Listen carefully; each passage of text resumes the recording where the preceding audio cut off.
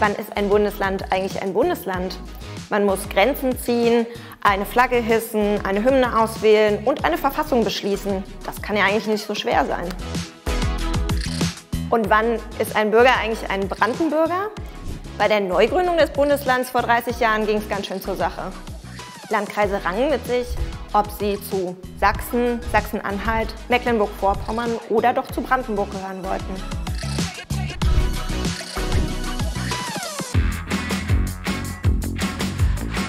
Die Menschen stritten sich darüber, ob das Wappentier ohne Schwert und Zepter friedfertig oder gerupft aussieht.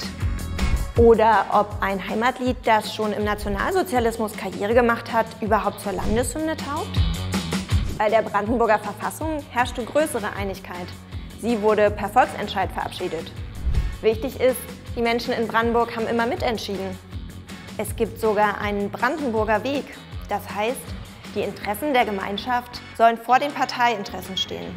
So entstand auch der weltweit kürzeste Koalitionsvertrag eines Kreistages und zwar auf einem Bierdeckel.